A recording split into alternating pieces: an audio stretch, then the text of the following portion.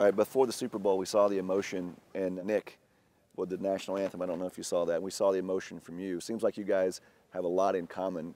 That relationship, what did he tell you about coming to here and what it's like to be with the Colts? Um, he just said it's an unbelievable organization, the way it's run, the people that are in this building, um, just all positive things here. And so, you know, when I got the opportunity and I got the call to be the head coach here, uh, I was excited.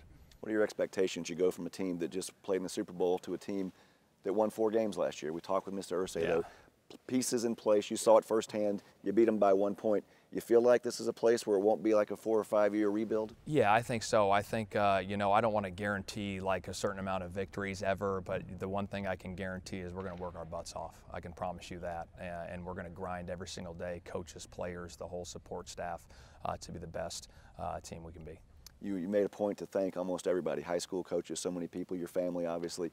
What has that journey been like when you start this thing off and you have a dream to be a coach, head coach, and now here you are? Yeah, I mean it's uh, it's it's unbelievable. You know that was it kind of obviously hit me in there. You know when I was doing my press conference, uh, but just the people along the way, the support you're given. You know I think. Uh, you know, no man is an island. He must draw strength from others. Um, you know, that's a quote. You know, one of our offensive line coach said in uh, Philly a lot, and uh, it's the truth. You know, you can't do it by yourself. It takes a lot of people uh, to be successful in life, uh, and just looking forward to the next chapter in my life.